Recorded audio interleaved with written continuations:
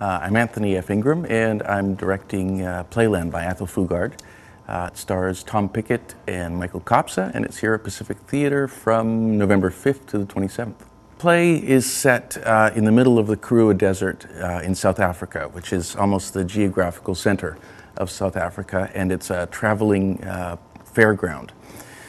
And it's New Year's Eve 1990, which is about a month and a half before Nelson Mandela was released from prison.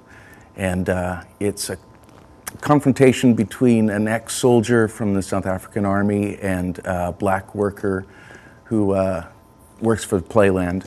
And uh, they meet on that night and uh, fight it out. You got yours already? What? Your New Year's resolution? What is that? When midnight comes, man. Yeah? When 1990 comes, you've got to give up something. Smoking, something like that. I don't smoke. Something else then? Drinking? I don't drink. There must be something you want to give up. No. So, that means I don't have to offer you a top, hey? Eh? The whole nation had reached a boiling point. That your fires of eternal damnation have now gone out. So, where the hell is the party? It's quarter past, nearly 20 past. So? So, where's the lights and the music? You said that everything gets going at 7 o'clock. That's right. It's past uh, 7 o'clock now. Look for yourself if you don't believe me.